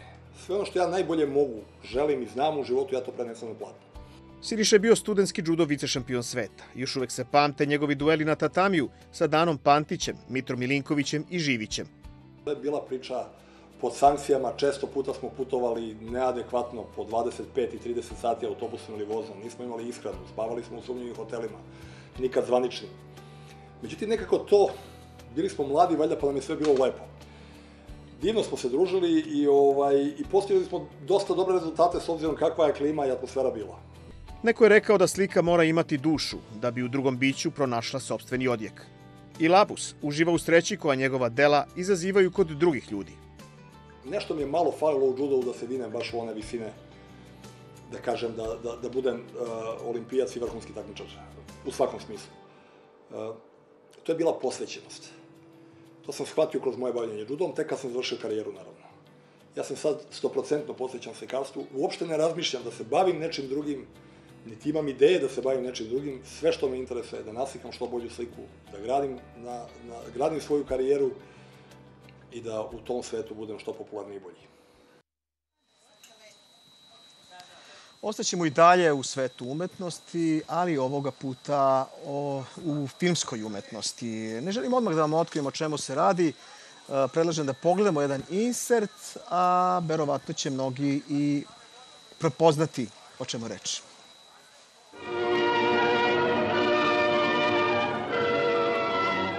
U institutu Boris Kidrić u Vinči završen je prvi jugoslovenski nuklearni reaktor. 17. maja, nešto posle 9 časova, predsjednik Republike Josip Broz Tito uključio je kontrolni uređaj i time pustio u rad naš prvi reaktor. Puštanjem reaktora u rad, Jugoslavija je stala u red prvih deset evropskih zemalja koje posjeduju nuklearne reaktore, a među sedam prvih koje su takve reaktore same izgradile.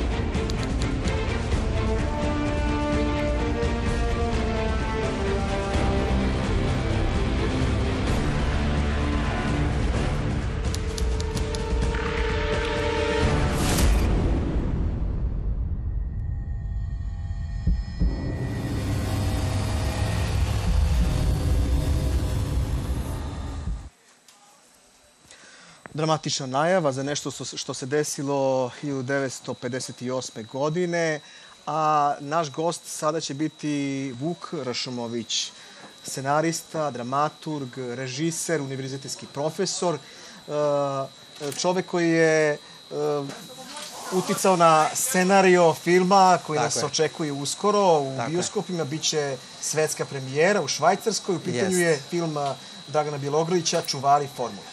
Tako je, hvala na najavi, jeste. Znači, svetska, e, ići ćemo u bioskope, naravno, ali prvo ide svetska premijera, kao što ste rekli, u Lokarnu. U Lokarnu na festivalu koji je jedan od najstarijih evropskih i svetskih festivala, festival A kategorije. I tamo naš film znači, učestvuje u jednom programu koji nosi naziv Pjaca Grande, zato što u Lokarnu, koji je inače malo mesto, postoji taj, taj jedan veliki trg i oni su ponosni na to da je to zapravo a, najveće filmsko platno u Evropi gde zapravo istovremeno može 8000 ljudi da, da gleda film i stvarno očekujem da će to biti onako vrlo posebno iskustvo. 4. avgusta ako se ne 4. varam. avgusta je da svetska premijera i eto samo se nadam da će i vreme da nas posluži s obzirom da će projekcija biti pod otvorenim nebom. Tema je jedna priča koja se desila 1958. godine, Yes. kada e, su u institutu Vinča ozračeni mladi naučnici, njih Tako. e, šestorica. A ta- Šestora, bilo je, šestora, da, da, da, i šestora, Rosa tako Dangubić je, isto bila, Tako da. je. I onda ih je jugoslovenska tajna policija prebacila u institut Kiri u Jeste, Pariz, jeste, u jeste. Francusku, kako bi bili e, podvrgnuti eksperimentalnoj transplantaciji e, koštane srži i Da. prosto to je jedna tema o kojoj se godinama nije znalo, ćutalo, bilo je Pa, dosta Da, jeste. tome- Mi, mi smo shvatili znači, da je zapravo ta priča nekako obavijena nekim velom tajne, da iz nekog razloga, recimo, francuska javnost ne, ne zna dovoljno o tome, iako je u pitanju jedan veličanstven uh, medicinski podvig, da tako, da tako kažem. Ovaj, za tu priču uh, go, ovaj, Dragan Bjelogrlić je saznao od uh, Gorana Milašinovića, koji je inače a, lekar sam po profesiji, a takođe i pisac, književnik i on je napisao jednu knjigu koja se bavi, bavi tim, tim slučajem i, ovaj, i onda je tako zapravo Bje- Bjela došao do te priče i onda i mene pozvao. Tu je video neki link između, između mog prethodnog filma koji isto baziran na istinitom događaju i, i zaista mene priče koje su iz, iz realnosti najviše nekako uzbuđuju jer vrlo često se stvarno ispostavi da su one mnogo mnogo uzbudljivije, znači da nekako a, realnost može da ispriča neke priče koje su zaista neverovatne. Ovo je jedna takva priča.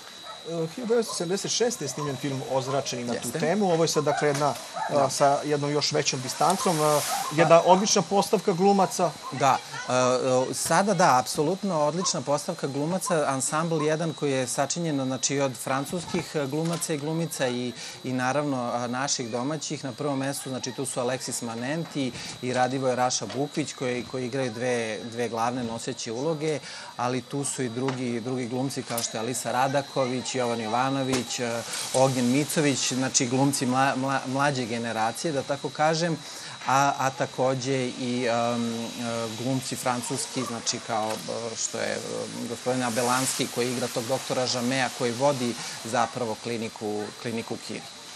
E, Ova priča je ujedno i aktualna sada, kada pogledamo ovu sferu rata to- to je između baš- Rusije, Ukrajine, Jest. pretnja nek Jest. nuklearnim ratom. Tako je. Da li ovo Pa- možemo nazvati kao priča o srpskom Černobilju možda? E, ima, ima, dosta, ima dosta sličnosti sa tim, ali drago mi je što ste to pomenuli. Recimo, nisam sad pogledao ovaj film Oppenheimer Christophera Nolana, ali i on se bavi znači, tim projektom Manhattan, kada se zapravo pravila no, ovaj, atomska bomba u Americi. Ovaj, ali zapravo se ispostavilo da nekako, nažalost, aktuelan neki društveni trenutak je učinio, a, učinio i ovu našu priču potpuno aktuelnom, jer ona se dešava na vrhuncu hladnog rata, kada je svet jako podeljen između istoka i zapada i kada stalno je postojala ta pretnja od, od nuklearnog rata, tako da su čak ljudi, nije bilo, ono, nije bilo ako će da se desi, nego kad će da se desi. Tako da ovaj, iz te strane mislim da je, da, je, da je film užasno referentan i aktualan u ovom trenutku i da nosi jednu jako lepu uh, humanu poruku. Znači, Rekli ste da nosi tu jednu humanu poruku i malo pre ste spomenuli da mnogo uh, francuska javnost nije znala o tom Tako događaju. Uopšte mislim da će i ovaj film da baci i da jedno drugo svetlo i da upozna, jer zapravo tada su e, Francuzi mnogi pokušali i na neki način da pomognu Pa o tome, našim o tome se i radi. Znači, to je, znači, u realnosti zapravo je uh, tada kada se desilo to da su oni ozračeni, zapravo se naravno ispostavilo da postoji jako malo mesta ili klinika nekih na planeti gde bi zapravo mogli da, da, da spasuju, uopšte da, da tretiraju ovaj, ozračene naučnike i eto, sticajem okolnosti Pavle Savić je ovaj, imao konekcije sa, sa klinikom Kiri i onda je on nekako posredovao u tome da oni vrlo brzo, u roku od samo 24 sata, vojnim avionom ovaj, sa aerodroma u Batajnici odlete na, na Orli u Parizu.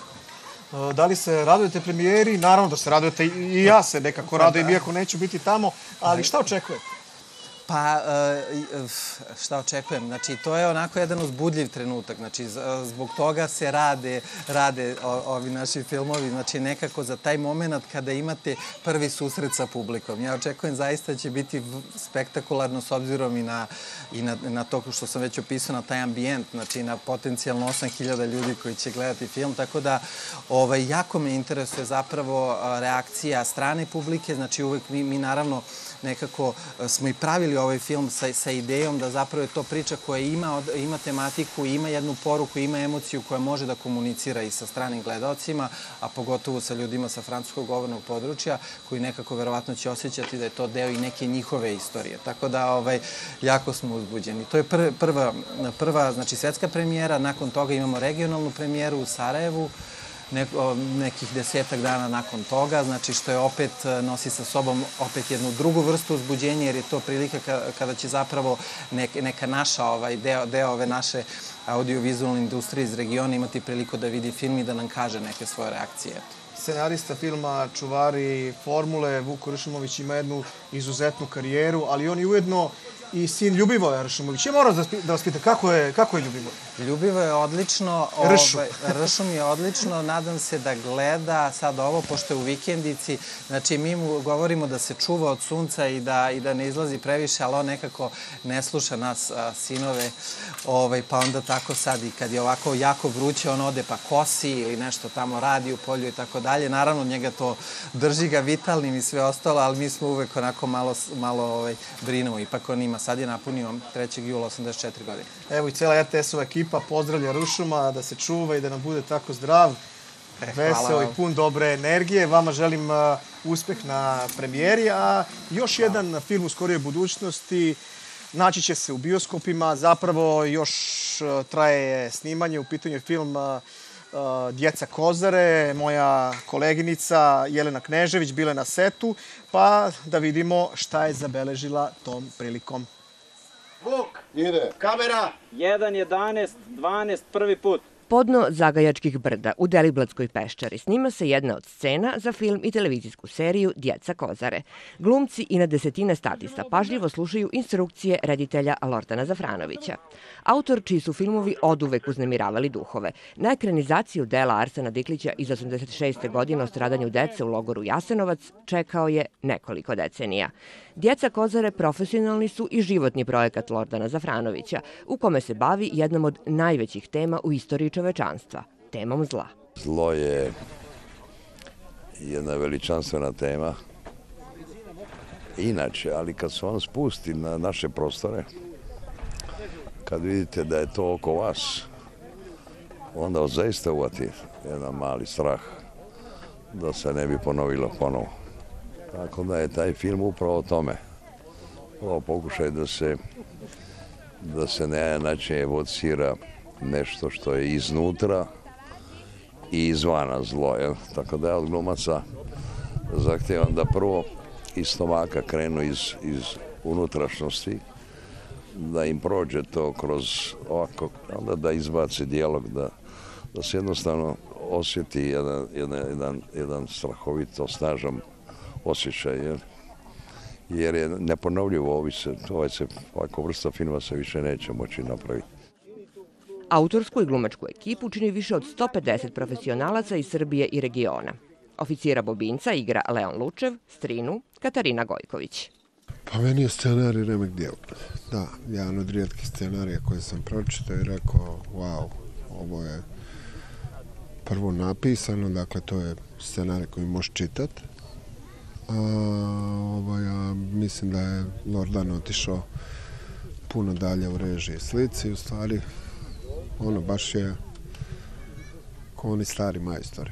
Ja sam imala sreću da u ovoj atmosferi logora i te kolone i tih jadnih ljudi, žena, dece, u ovom trenutku ne može čovek da prenebregne činjenicu da sa tim ljudima kao u nekom paralelnom univerzumu deliš taj trenutak. I prosto sam, na momente sam mislila da su sve te duše tih ljudi sa nama. Um, I to je dosta jak osjećaj. U filmu i seriji pratimo sudbinu dece srpske nacionalnosti, jedne sestre i dva brata, koja, bežeći od fašista 1942. godine, završavaju u logoru. Ja glumim glavnu ulogu u ovom filmu i zovem se Zora i preživljavam pakao, možemo reći, sa dva brata i majkom i pokušavam da izbjegnem taj pakao. Mićko, odnosno brat od e, Zore i pa proživljavamo isto pakao taj logora i to sve i onda usp... kako da kažem uspijemo preživjeti sve.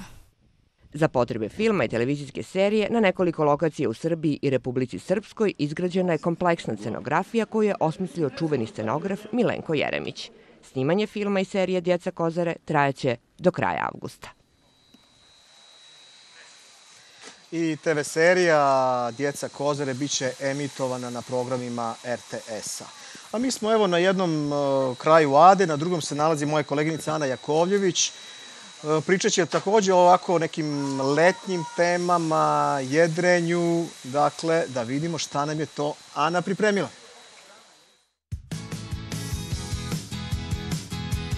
Jedrenje je sve popularniji sport.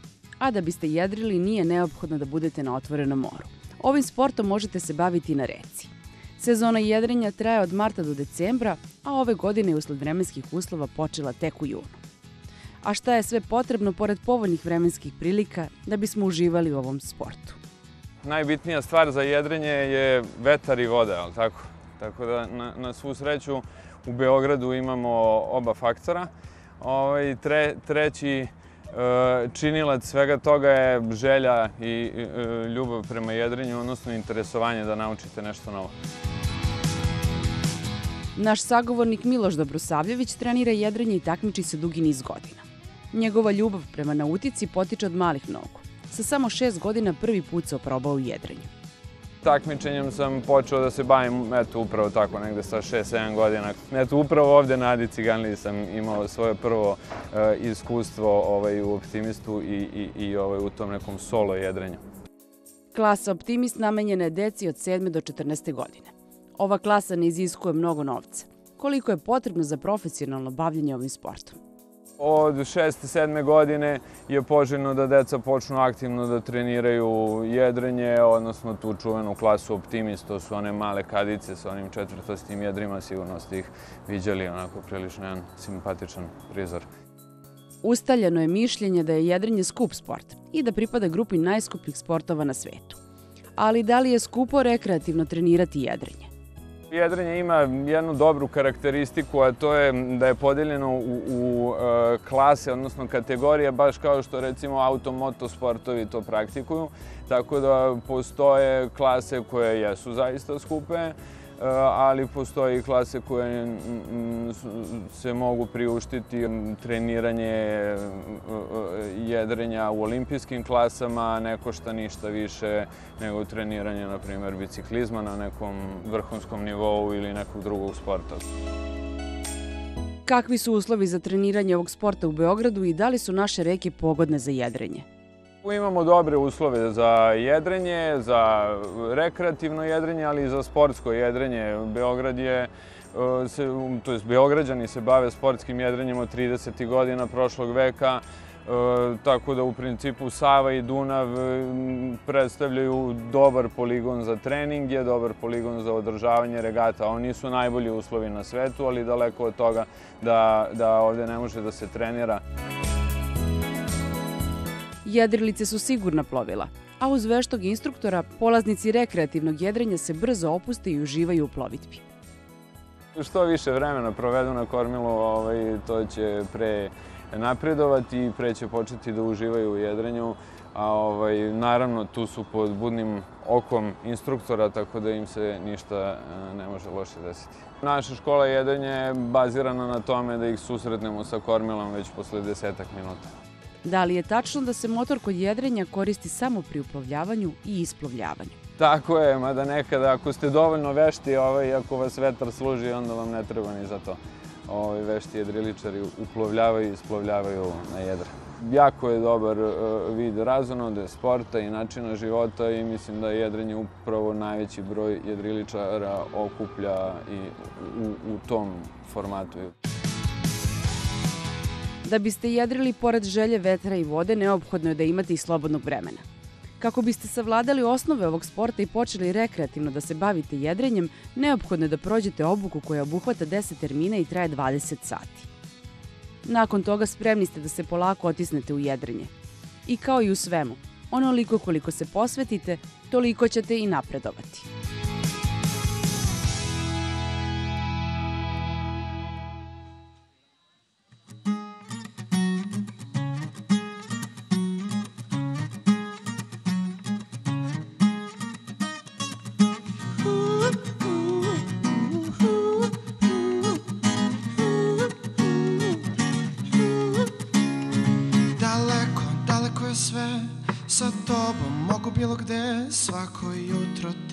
Vodi me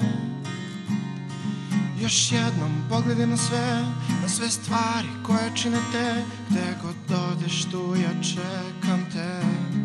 Pomisli ponekad Ono što si rekla Kad smo bili sami u mislima. Pomisli ponekad da samo tebe čekam Samo s tobom želim i mogu sve Ja mogu sve.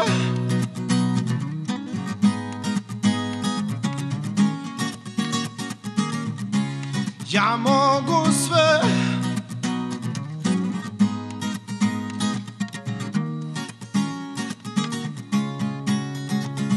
Daleko, dalje nego pre Sa tobom mogu bilo gde Svake noći druge puteve U noći leto miriše Na sve stvari koje čine te I tvoje ruke koje vode me. Pomisli ponekad Ono što si rekla Kad smo bili sami u mislima. Pomisli ponekad da samo tebe čekam Samo s tobom želim i mogu sve. Ja mogu sve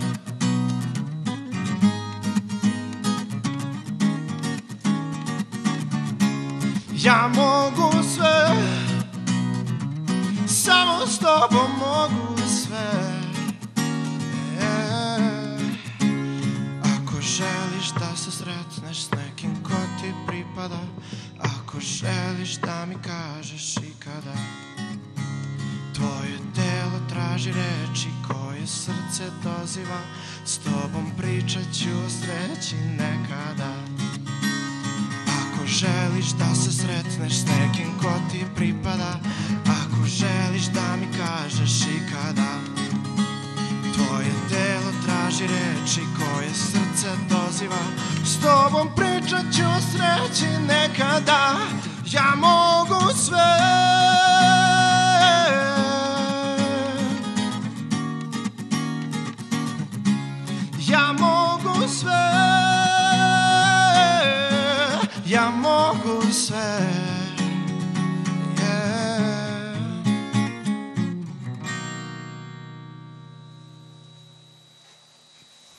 Stefan Ćimović iz grupe Drama uživo iz našeg studija na Adi Cigali. Koliko je sad? 14 do 3. Mislim da je vreme za ručak. Ne, ne, javljaju mi iz režije da ja moram da sačekam još 15 minuta, ali probat ću jednu malinu. Vi ako ne znate šta biste mogli, mo- spremite danas, recimo, gruzijske kinkale.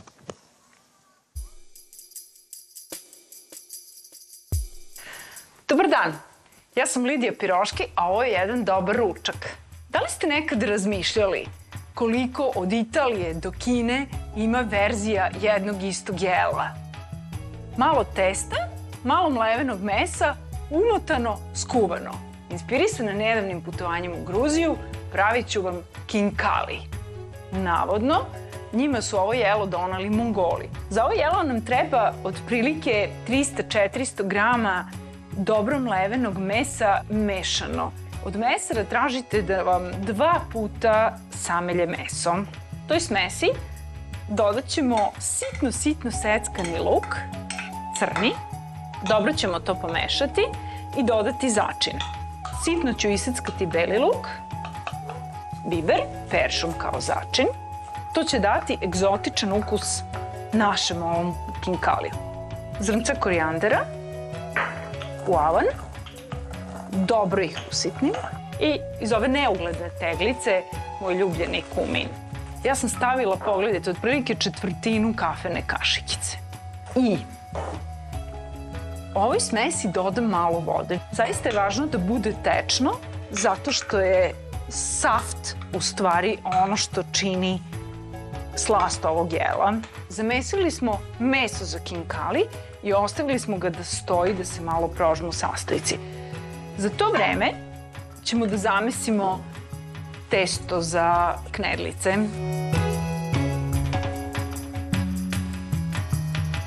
Svaku od ovih jufki razvaljat ćemo klagijom u okruglu formu otprilike prečnika 10 do 12 cm. Napunit ćemo je sa smesom mlevenog mesa i luka, ovako. Ovako lepezasto ćemo da je zatvorimo. Kažu da najiskusnije gruzijske domaćice naprave 18 ovakvih namotaja. Evo ovako. Umeđu vremenu sam stavila vodu da kuva. Jako je važno da zatvorimo bukvalno svaki otvor. Takođe, da ivice budu, ako može, malo tanje, zbog ovog lakšeg zatvaranja. Napravili smo naše kinkalije, promešajte ih obavezno. Evo ih. Evo. I oni se kuvaju 7-8 minuta, nema potrebe duže. Evo vam. Posle 7-8 minuta naši kinkali su gotovi, jede se vruće i poenta je u sledećem. Još vruć kinkali, uzmemo sa dve ruke, odgrizemo sa strane mm, i posrčemo. Ja sam sebi napravila jedan dobar dan, a isto želim i vama. Doviđenja.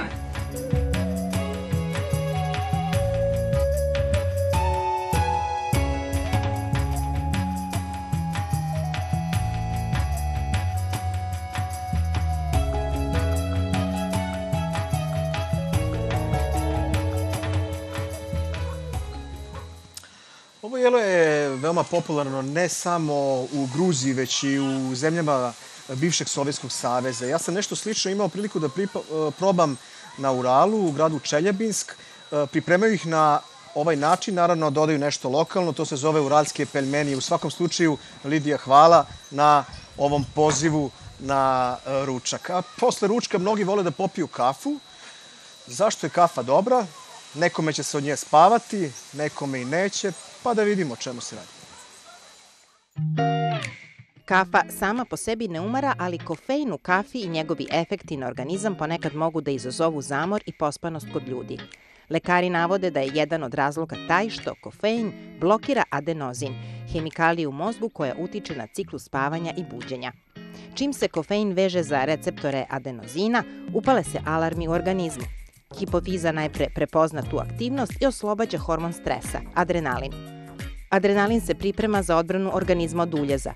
Ubrzano se proizvode i novi molekuli adenozina za unutraćelijski protok energije, zbog čega se osjećate iznemoglo.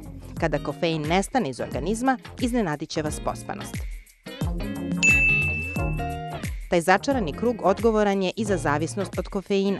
Nagli prekid konzumiranja kafe može biti poprilično neprijatan, pa čak i medicinski opasan u pojedinim slučajevima. Ljudi koji redovno konzumiraju kafu mogu da razviju toleranciju na kofein. Jedna studija ispitivala je efekte stalne konzumacije kofeina na aktivnim biciklistima. Na početku istraživanja biciklisti su nakon ispijanja kafe imali veći broj otkucaja srca i veću fizičku snagu da bi nakon 15 dana efekti kofeina počeli da se smanjuju. Kofein u kafi može da utiče i na zdravlje ljudi. Na primer, visoke doze kofeina mogu da izazovu nervozu, anksioznost, kao i privremeno povećanje otkucaja srca i krvnog pritiska. U tom slučaju preporuka lekara je jedna do tri šoljice kafe dnevno. Mnogo puta vas ne umara kofein, već šećer u kafi. Može privremeno da izazove osetljivost na insulin, a tako i iscrpljenost. Ljudi sa povišenim šećerom u krvi mogu da imaju i glavobolju, vrtoglavicu, probleme sa koncentracijom. Stefan uh, Aćimović iz grupe Dram danas sa nama. Stefane, čuli smo još jednu vašu lepu numeru. A ono što mene zanima, kad spremate neku turneju? Da, što se turneje tiče, za sada je, verovatno će biti na jesen, za sada onako sve pripremamo, pošto smo prošle jeseni prvi put imali, kažem, neku veću turneju po, po Srbiji. Sad opet to želimo da uradimo, samo da proširimo i dalje na neki ceo region. Tako da od septembra do decembra bi trebalo da to traje onako. Idealno bi bilo ono svaki neki vikend, pa petak, subota, jer tad najviše ono volimo da ono, odemo negde u grad, ko mini ekskurzija, ono, kao, odemo, prenoćimo negde, tu ono, sva četvorica, idemo dalje, slušamo ono, neku muziku zajedno, zajedničku i onda posle u drugi grad i tako se ono, svaki vikend bude ovaj, svirka, odnosno neka kao ekskurzija. Da. Pa lepo, lepo zamišljeno, ovaj, petak i vikend, s obzirom da Stefan radi, tako da, da, da je to ovaj, zanimljivo. Da li planirate neki festivale? E, pa da, mislim, za sada imamo, da kažem, taj festival planiran što, je, što se dešava u Hrvatskoj na Krku, a što se tiče za jesen i to, tek treba da ono, razmotramo. Za sada imamo zakazano te neke klubske svirke po gradovima u, u Srbiji, a što se tiče festivala, još ćemo da vidimo ako uspemo da Beovizija. sa nekim idemo u kontakt. E, što, što se tiče Beovizije, evo, juče smo baš pričali da, mislim, to je nama jako cool. Mi bismo volili da, da, da odemo da se prijemo na takvu neku manifestaciju, ali u smislu da da mi budemo zadovoljni, da imamo nek, neku pojentu, neki koncept. Da se ne pojavimo samo kao četiri ono, lika koji sviraju kao instrumenti, je, mi smo rock band, mislim i to je okej, okay, ali... Pa to je okej, okay, isto. Koliko smo skontali, to nekako ne, e, ne, ne kupuje nekako ovako neku, neku, neki jak utisak i ovaj, želimo da imamo neki neki možda zanimljiviji koncept od toga i, i ako nam se to svidi i ako se poklopi sa pesmom koju, koju pravimo, uh, jako smo zainteresovani za tako nešto. Šta ćeš nam osvirati za kraj? Za kraj ću vam svirati jednu pesmu koju mi onako često slušamo dok idemo tako između gradova, ona u kombiju ili tako negde. To je jedna rock numera od jednog benda sa Islanda koji se zove Kaleo i pesma se zove No Good. Ok, No Good, slušamo No Good.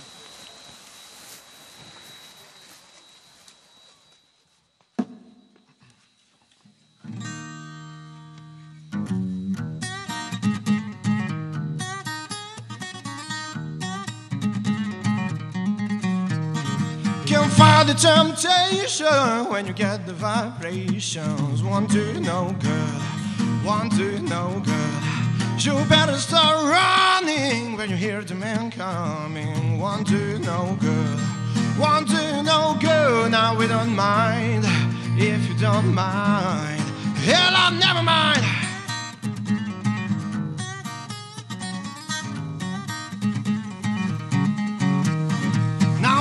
Moment break you. Let the feeling come and take you. One, two, no good. One, two, no good. And you know I got feelings when you hit me right. You know I